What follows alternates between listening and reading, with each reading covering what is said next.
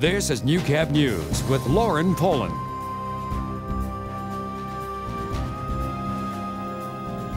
Good evening and thank you very much for joining us. Weeks of heavy rain have wreaked havoc on the border city. From flooded basements to overflowing sewers, residents and the city are now picking up the pieces. Bart Padiasic has the details. This was the scene yesterday as commuters tried to make their way home following a brief but heavy rainfall. Most low-lying areas were affected and a few sewers could not take the load. City officials are assuring people that the sewer backups are normal and expected for the rainfall we have received, twice as much in a month than the average. Obviously, when you have that and when almost half of that comes in one day, there is going to be issues within the system. The city doesn't feel there is a need for an overhaul of the current sewer system. We're always upgrading our, our storm systems. We're doing it. Uh, last year, we did a major upgrade along 25th Street uh, going into the Saskatchewan side um, that connects into Lake J. This year we're doing another storm upgrade on Highway 16 in conjunction with the road works there. Sewer backup claims are down on the Saskatchewan side to 19 this year compared to 36 same time last year. According to an insurance broker we spoke to, that's because a lot of people are more aware of their policies than ever before. People know what the coverages are. They know uh, what is expected of them. Uh, insurance companies now charge a high premium for sewer backup, so there's lots of um, conditions that go on. You have to have your backwater valve. If you've ever had a claim before, it's really hard to get um, sewer backup coverage on a policy. Beck has some advice for homeowners worried about water damage in the future. Make sure that the lot that your house is on is secure. Make sure that uh, your drainage is away, the water drainage is away from your house. Make sure that your weeping tile and your downspouts are not attached to your sewer, which some of them still are, if you can believe it. Bart Padiasic, Newcap News. The Lloydminster RCMP is investigating a hit and run earlier this afternoon.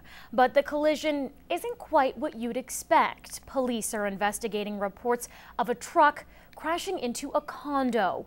The details are sparse, but the truck allegedly backed into the house, then drove off through the alley. The cost of damages are still unknown, and so far there are no reports of injuries.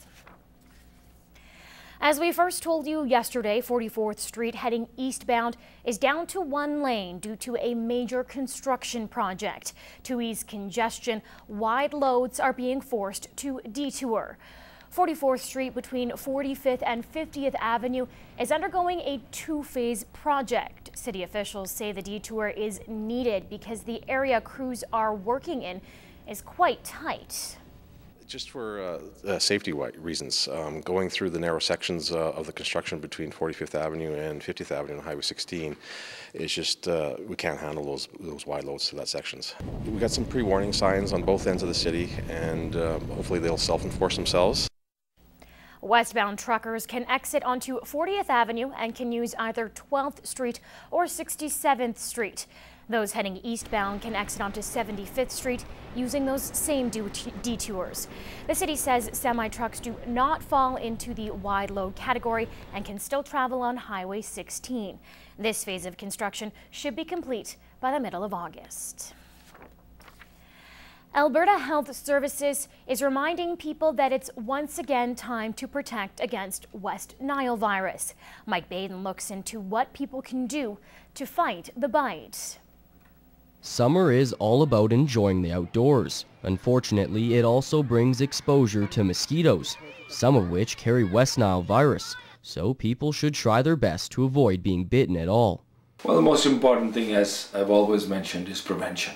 So when you go out, and you even suspect there's going to be mosquitoes, um, if you want the sun uh, and you want a tan, make sure you also have some DEET uh, products that contain DEET and you apply them on the exposed skin. But if you are bitten, there are a couple things to look out for. Well, the one that carries West Nile, it takes a while, there's an incubation period, and then you do get symptoms. Most of them are mild symptoms and disappear, but there is a small percentage where you can have headaches. And an even smaller percentage of those with headaches can go on to get symptoms of meningitis and weakness of the uh, limbs, etc. In 2011, 102 cases of West Nile virus were confirmed in Canada, although no cases were reported in Alberta. Along with the normal bug sprays, there's a wide variety of over-the-counter supplies that can help fight the bite. I like the Insect Defend patches um, or the off uh, clips.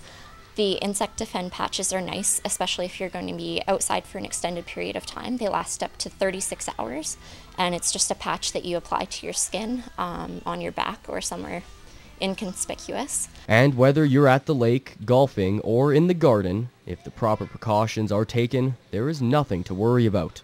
There's a good chance nothing will happen with West Nile. Uh, it's only 20% of people who have, who have West Nile who show symptoms. Mike Badun, Newcap News.